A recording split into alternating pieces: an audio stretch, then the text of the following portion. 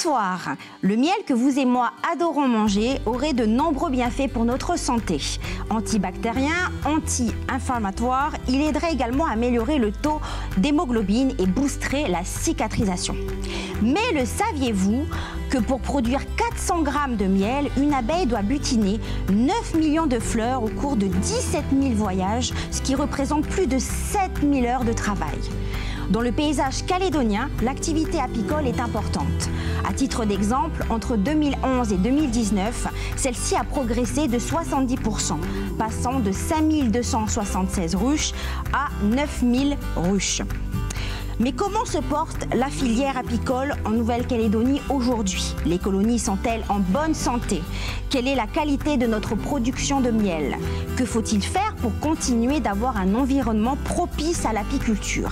C'était notre feuilleton de la semaine. Pour échanger avec moi, je reçois Romain Guette et Christophe Chara. Merci à tous les deux d'être avec moi. Alors Romain, euh, tu es responsable donc du centre de l'apiculture, donc de bogen donc le CPA. Le CPA qui est un centre qui accompagne le développement de la filière apicole depuis plus de 30 ans, c'est bien ça? C'est bien ça, et on est installé dans la vallée de Bogen depuis 1982 euh, bah, exactement. Ah oui, ça remonte quand même. Mhm. Euh, Christophe, quant à toi, tu es apiculteur à Koumak, tu es aussi membre du syndicat des apiculteurs de Nouvelle-Calédonie. Alors, euh, Romain, euh, si tu devais faire un état des lieux, en fait, un petit bilan de la filière apicole en Nouvelle-Calédonie aujourd'hui, que dirais-tu? Bah, je, dirais rapidement que c'est une filière qui est euh, très porteuse, qui, comme, tu l'as répété à l'instant, hein, qui on voit un taux de croissance assez important depuis une dizaine mmh. d'années. après, tout de même, rappeler aux esprits la saison très très difficile qu'on vient de, vivre, de subir, mm. euh, et qui a entraîné une baisse de production assez importante donc pour la saison 2020-2021. Mm-hmm. Euh, combien y a-t-il euh, de hum, colonies en Nouvelle-Calédonie? Des, colonies qui sont déclarées officiellement, on en a environ 9000. après, si, on imagine que ce chiffre est un petit peu plus grand, on va dire qu'on arrive autour de 10-12 000 et qu'on a le cheptel à pierre néo-calédonien. Euh, Christophe, est-ce que c'est facile euh, d'être apiculteur en Nouvelle-Calédonie? Est-ce qu'il y a des contraintes? Est-ce qu'on peut en vivre? Ben, euh, oui, oui, il y a des contraintes et oui, on peut en vivre. Après, ça dépend pour en vivre à quel endroit on met le curseur de sa qualité de vie. Parce que ben, vivre avec 50 ruches, puis vivre avec 400 ruches, c'est pas, pas pareil. C'est pas le même travail et tout. Et, et des contraintes, oui, il y en a. Euh, climatique. Euh, mm. Il y a plein de contraintes. C'est un métier, c'est de l'agriculture. Hein. Donc, euh, on travaille avec des insectes, donc c'est compliqué. Des fois, tu peux, des fois, tu peux pas. Ben voilà, c'est comme. Alors, Romain, il y a des apiculteurs amateurs et professionnels.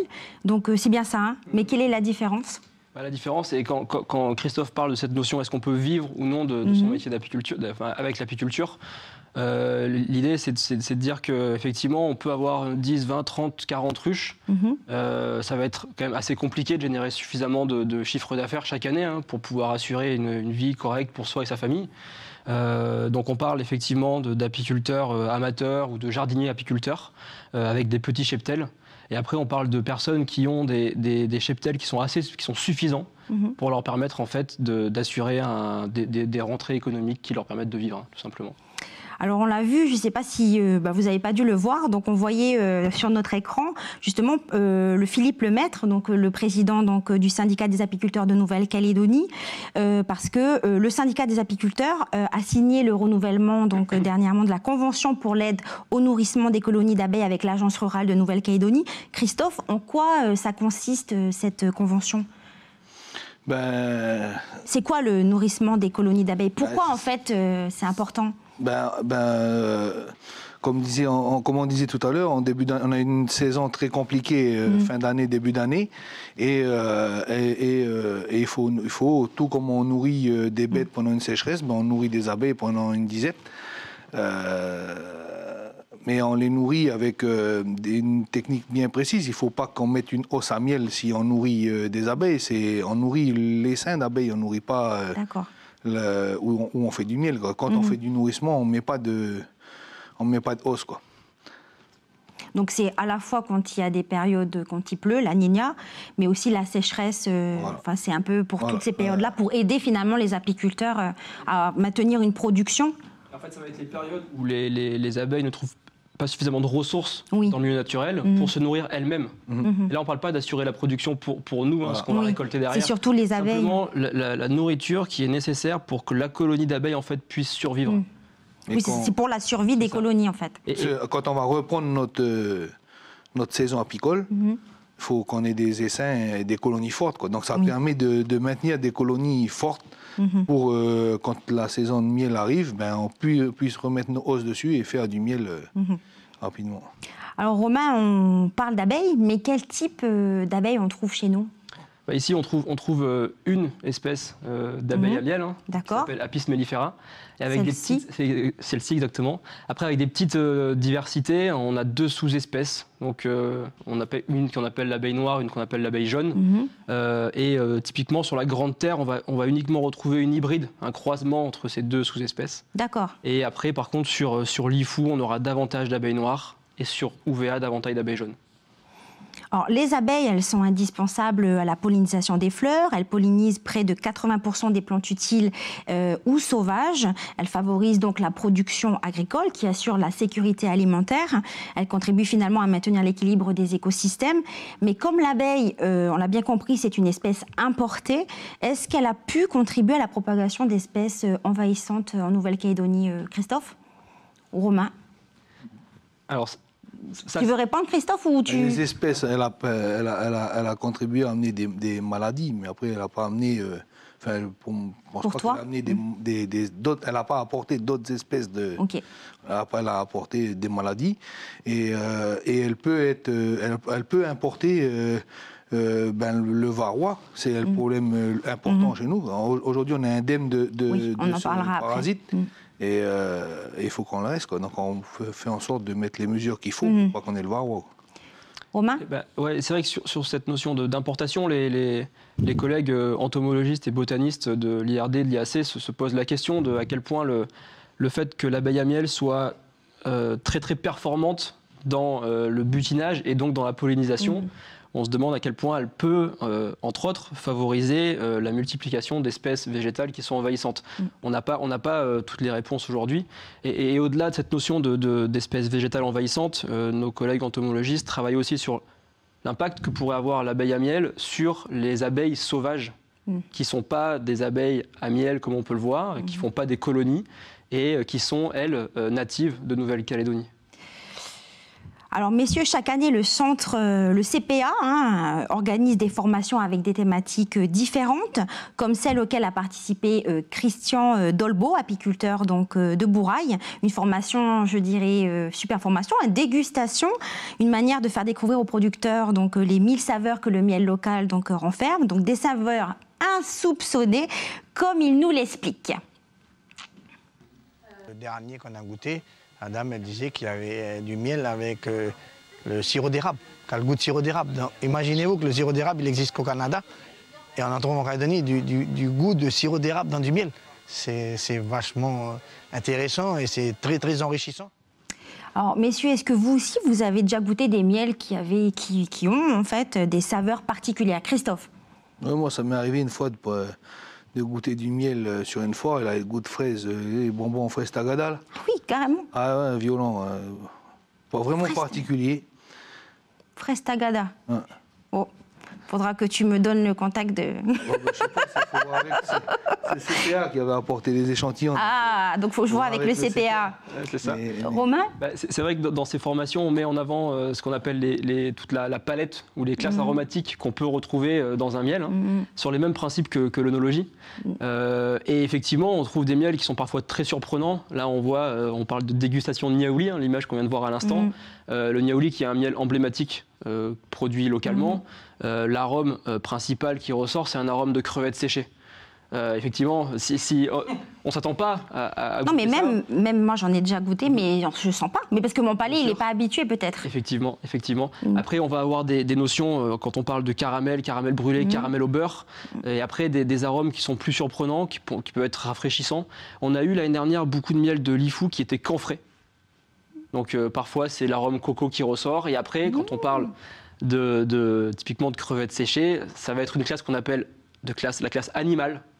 Et parfois, quand on sent un miel, il va sentir la, transpiration, par exemple. Mais c'est pas du tout un, signe négatif de la qualité du miel. Mhm. Mais ça reste surprenant pour un néophyte. Parce que c'est vrai qu'il y a le miel aussi euh, palétuvier qui est plus salé, je dirais. Mhm. Là, on sent bien quand même que c'est salé. Hein. Effectivement. En tout cas, y a, on a le choix, on va dire, au niveau des saveurs. Euh. On, a, on a énormément de choix et c'est ce qu'on essaie de faire euh, avec les producteurs, de, mettre en avant justement cette diversité de miel qu'on peut retrouver. Mhm. les consommateurs vont souvent avoir l'impression que le, miel, derrière un pot, c'est un miel qui est jaune ambré, qui va avoir un peu le même goût. Euh, l'idée, c'est d'éclairer le consommateur sur cette diversité de produits qu'on va mhm. retrouver. Et quelle est la finalité finalement de cette formation J'imagine que derrière, il y a une finalité en fait euh, de cette formation dégustation. Euh, la formation, c'est que les, producteurs connaissent mieux le produit qu'ils mhm. vont mettre sur le marché pour davantage le valoriser auprès des consommateurs et davantage mhm. aussi éclairer le consommateur. et après, ces formations-là, elles se font en parallèle du, concours des miels de Nouvelle-Calédonie qu'on organise pour la troisième année euh, cette année, où là le but c'est de mettre en avant euh, du coup des produits de grande qualité. Et ça sera quand ce concours? Le lundi 2 août. Ah bah c'est bientôt en fait.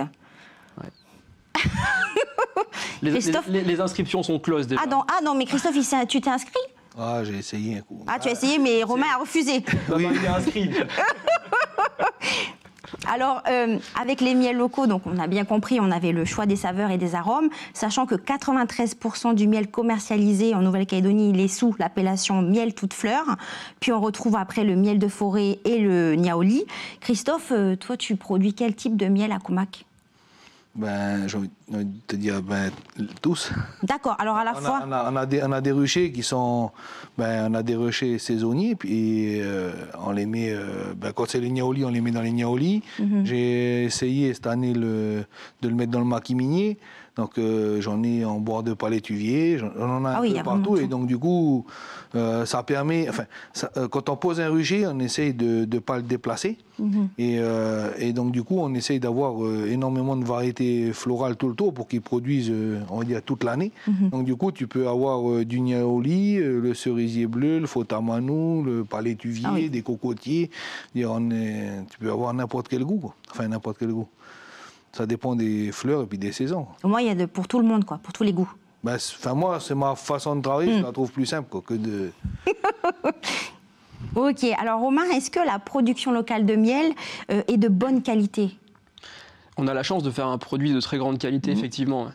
Et, ça, quelque part, l'isolement de, de, l'archipel, hmm. euh, le peu d'urbanisation et le peu d'agriculture intensive, Mhm. nous permettent en fait d'avoir des espaces, euh, de très, espaces naturels et agricoles de très grande qualité où euh, le nectar qui va pouvoir être récolté par les abeilles euh, est très peu contaminé, mhm. donc de grande qualité, et elles vont ramener ce nectar à la ruche et le transformer en miel. Et on produit, la production totale à l'année, elle est de combien à peu près? On est, en moyenne, entre, on est en moyenne à 120 tonnes, donc entre 100 et 150 tonnes, et ça permet en très très grande partie de couvrir les, le besoin, les besoins des consommateurs. Et par rapport à la répartition de la production, à l'échelle du pays, c'est comment Enfin, on produit plus à un tel endroit ou vraiment, il y a vraiment une répartition égale donc. Euh, les, trois grandes zones de production, ça va être le, la côte sud-ouest, mhm. le, bassin du Grand Nord mhm. et le bassin de, de l'Ifou, euh, sachant que c'est euh, les principaux bassins agricoles de Nouvelle-Calédonie. Alors justement, tu parles de l'IFU, donc je vous propose que l'on écoute Patrick Leblanc, apiculteur du miel de la jungle, l'un des miels les plus primés donc euh, au pays. Alors il nous parle un peu de, bah, il nous donne un peu sa vision donc euh, du miel et puis euh, on l'écoute. Après, bah, prétendre à faire de l'export, nous on fait 2-3 tonnes de miel par an, il faudrait qu'on ait une production quand même plus importante pour pouvoir vraiment répondre à, de l'export, on va dire. Quoi. On préfère que les gens viennent le chercher à l'IFO, Bon, c'est sûr que ça, réduit le, nombre de personnes qui peuvent venir, mais on préfère, c'est un produit d'appel, quoi. Donc ça veut dire qu'il faut que les gens, quand ils viennent à l'IFO, le trouvent à l'IFO.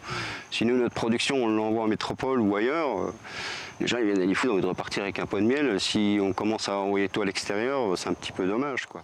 Euh, Christophe, euh, toi qui es apiculteur, tu, tu partages l'avis de Patrick? Ben, notre miel, il faut qu'on le vende sur notre, notre mhm. pays. Hein, et on a, on a, un produit qui est noble, on a un produit qui est fait correctement. Mhm. Donc euh, oui, il faut qu'on le valorise. Euh, quand on peut le valoriser le plus simplement à, chez nous, enfin, à l'exploitation, c'est bien. Dans les îles, c'est bien.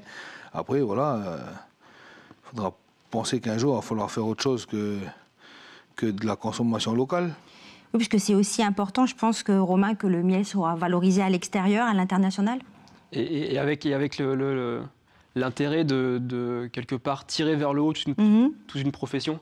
Là, on voit le cas de, Patrick Ewako sur l'IFU. Euh, mhm. Au bout de 3-4 médailles avec Paris, avec un prix d'excellence, euh, mine de rien, ça donne envie à beaucoup de producteurs de, reproduire le travail qu'ils vont faire et d'en arriver mhm. à ce niveau quelque part de, qualité de production. Et par rapport à la production, est-ce que euh, la production locale suffit à, satisfaire la demande des Calédoniens? Parce que les Calédoniens sont quand même assez friands donc, de miel. On arrive à couvrir cette demande? Alors, on, est friand de miel, oui et non. Hein. Ah ben moi je parle peut-être pour moi alors. Oui, mais en fait on reste, on reste, des, des, consommateurs modérés de miel. Mm. Euh, quand, on compare à d'autres populations euh, sur, Terre.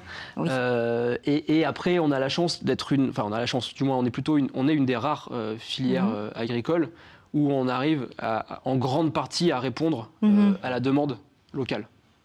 Ça, c'est quand même un, point très très mm. positif de, de, la filière apicole calédonienne.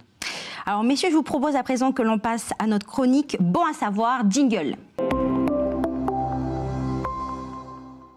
Pour être en mesure de produire du miel, il faut avoir des abeilles en bonne santé. C'est pourquoi, depuis 7 ans, le CPA travaille à l'amélioration génétique du cheptel apicole calédonien. Le principe est simple. Romain, tu me dis, et Christophe aussi, si je me trompe, les apiculteurs confient leurs colonies les plus performantes au CPA, qui est chargé de le reproduire. Une fois les reines multipliées, elles sont ensuite renvoyées euh, à l'apiculteur. Mais en quoi ça consiste? Quel est l'objectif donc euh, de ce euh, procédé? Margot Camoin, donc coordinatrice du RESA, donc le réseau d'épidémiosurveillance apicole, nous en dit plus. les apiculteurs nous font des remontées d'informations sur les performances des rennes dont ils ont hérité. Et c'est à partir de ces données-là qu'on peut identifier euh, là où les meilleures souches euh, de la saison et qu'on va ensuite multiplier pour diffuser cette euh, génétique. C'est aussi d'avoir une abeille qui va être plus résistante aux maladies, donc soit les maladies qui sont déjà présentes, euh, comme la loque américaine qui est très impactante pour les apiculteurs, mais aussi préparer le cheptel apicole à une éventuelle introduction de pathogènes de l'extérieur. Christophe, qu'est-ce que toi tu penses de cette amélioration génétique? C'est important parce que ça va nous permettre de, produire euh, plus, parce que nous, le but, c'est quand mhm. même de produire du miel. Donc, améliorer génétiquement, ben, voilà, le nettoyage des ruches enfin, et la productivité. Mhm. C'est super important pour un producteur. Romain, c'est aussi, aussi pour que en fait, les abeilles soient beaucoup plus résistantes aux maladies, c'est ça hein? Effectivement, c'est ça. C'est du coup qu'elles soient capables de résister naturellement aux maladies bactériennes très graves qu'on a en Nouvelle-Calédonie. Et cette amélioration génétique n'a aucune répercussion sur la qualité du miel, ça n'a rien à voir en fait. Au contraire, ça permet de l'améliorer. Euh, alors, ce qui est certain, messieurs, c'est que l'environnement sanitaire calédonien est propice à l'apiculture. Néanmoins, la situation sanitaire n'est pas parfaite, euh, puisque nous, il y a des problèmes comme la loque américaine et surtout le couvain plâtré, dont l'origine serait un champignon qui se développe lorsque la ruche est trop humide. Donc, pour assurer une veille sanitaire donc apicole, le RESA hein, a mis en place des ruches sentinelles, des ruchers pardon sentinelles, euh, placés dans des zones les plus arides telles que les ports. Donc, ces derniers permettent de prévenir l'introduction d'acariens, comme euh, nous l'explique Margot Camoin, coordinatrice du RESA. Le principe, c'est que si un essaim, par exemple, arrive euh, sur un bateau de Nouvelle-Zélande, donc d'Auckland, où le varroa est présent, donc cet essaim, il peut être porteur de varroa, il va arriver, il va s'installer euh, à proximité du port. Et s'il s'installe, eh ben, les abeilles de cet essaim vont entrer en contact avec les abeilles des ruches et sentinelles, et nos ruches et sentinelles vont se faire contaminer. C'est pour ça que nous, on les teste tous les mois. C'est un piège à huile. J'ouvre et je regarde à l'intérieur s'il n'y a, pas, euh, a pas des insectes, comme le coléoptère euh, des ruches. On a aussi des systèmes de gestion des essaims sauvages. Et là, on travaille en partenariat avec des apiculteurs privés qui vont aller récupérer les seins, faire des prélèvements, nous les envoyer. Et si tout va bien, si c'est de l'abeille européenne et qu'il n'y a pas de varroa, les apiculteurs vont pouvoir récupérer les seins. Euh, Romain, combien est-ce qu'il y a de ruchers sentinelles en Nouvelle-Calédonie? On a aujourd'hui 7 ruchers sentinelles qui fonctionnent, dont, une grande partie euh, à proximité directe des zones à risque d'introduction, mhm. donc les ports en eau profonde. D'accord. Euh, il y a aussi des visites sanitaires, j'imagine, des ruchers, donc chez les apiculteurs amateurs, mais aussi professionnels. Mais pour que cela puisse se faire, donc la déclaration est volontaire, donc c'est euh, sur base de volontariat. Christophe, est-ce que les apiculteurs calédoniens ils jouent le jeu? Oui, J'ai envie de dire oui parce que ben on est, on a, il faut qu'on joue le jeu, il faut qu'on joue le jeu pour Mhm. ça, c'est important. Et derrière, ben, pour travailler, c'est aussi important d'avoir des visites de, techniciens, ça permet de s'améliorer, quoi. Bien sûr. On a, on a- on- même si on est tout le temps dans nos ruches, euh, nos pratiques sont pas forcément Mm. euh, sont améliorables. quoi. Oui, on peut toujours s'améliorer de toute manière. Alors, les abeilles en Nouvelle-Calédonie, de manière générale, sont en bonne santé. Euh, nous avons de la chance car nous avons été épargnés par le varroa. En fait, cet acarien qui envahit le monde dans l'espace, qui envahit le monde dans l'espace de 40 ans, donc on voit à peu près. Donc, c'est une sorte de tic euh, pour abeilles. On va dire ça comme ça. hein. Euh, selon vous, qu'est-ce qui reste à faire pour, je dirais, améliorer cet environnement propice à l'apiculture? Christophe, en une phrase. Enfin, Une phrase, ben, il ne faut pas que le varroa y rentre. Il faut que nos, nos collectivités fassent tout pour que, pas que le varroa y rentre. Parce que sinon, euh, il- Mhm. l'apiculture, elle va prendre une, euh, une grande claque. Romain Et il faut que ben, tous, les, tous, tous les apiculteurs de la, de la grande confrérie des apiculteurs de Nouvelle-Calédonie réalisent bien le- l'importance de ne surtout pas introduire euh, d'abeilles de, de l'extérieur de Nouvelle-Calédonie euh, et qu'ils aient aussi conscience que le- le- la- avoir une très grande technicité permet en fait d'être apiculteur et de produire du miel et de, de réaliser euh, précocement si on a des maladies ou pas dans ces colonies d'abeilles. Messieurs, euh, cette émission arrive à son terme. hein. Je vous remercie d'avoir été avec moi. Euh, merci à vous de nous avoir suivis. Vous pouvez retrouver cette émission sur notre site internet calédonia.nc. Bonne soirée à vous.